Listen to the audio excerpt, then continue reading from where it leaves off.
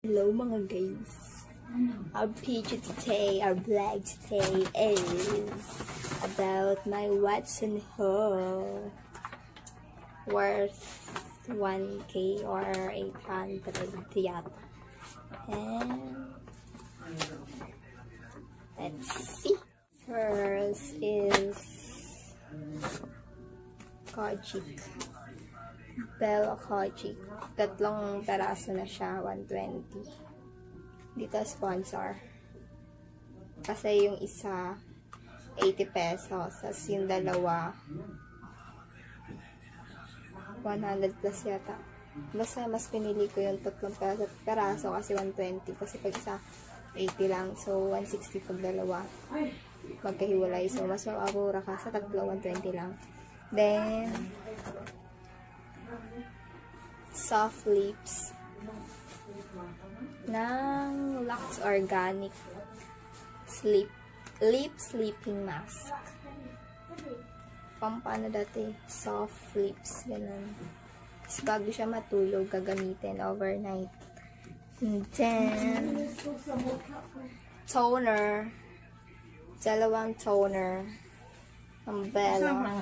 Ay, saba! Dalawang toner. Dalawang toner. Always ko to ginagawa. At ginagamit. Since December. And then, beautiful oil. Sunflower beautiful oil. Yan.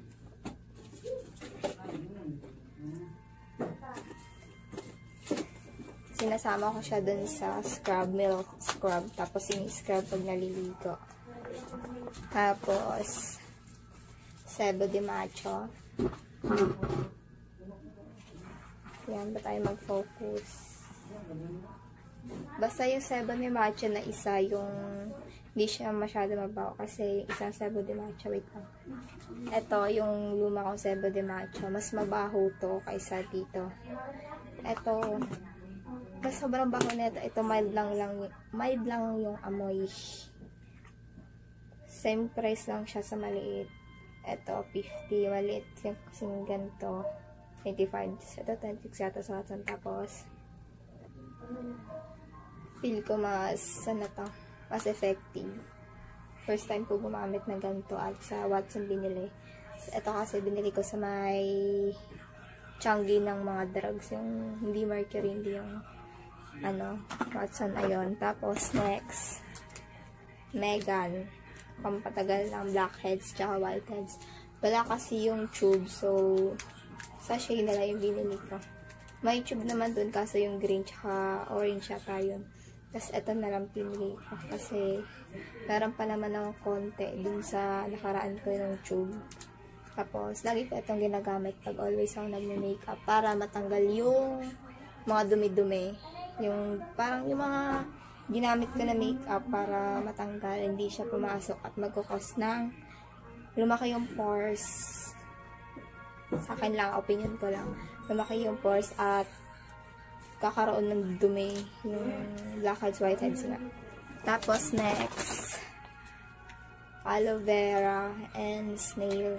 Dati kasi yung gamit ko, eto, yung green, ito yung gamit ko. So, ngayon, tinry ko to. Kasi maganda din naman to, yung nakaraan ko. First time ko to gamitin. Kasi dati yung kulay blue na parang, anong tawag doon?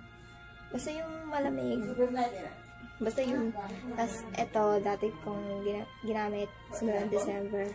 December, December, December. tas ngayon, bumili ako natin. So, I try to.